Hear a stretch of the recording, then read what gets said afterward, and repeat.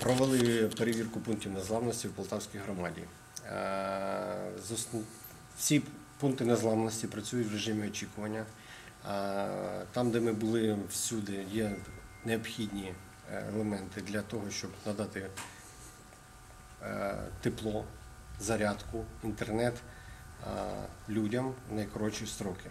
Всі пункти незламності, як в випадку блекауту, пункти незламності будуть готові максимум за 30 хвилин до повноцінної роботи і до прийому людей.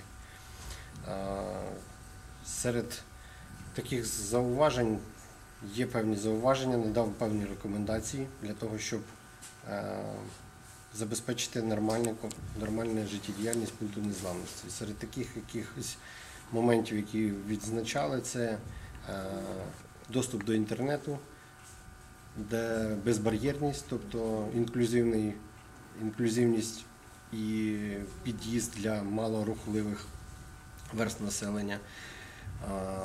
А, все інше, якби із того, що я побачив, все всім забезпечено.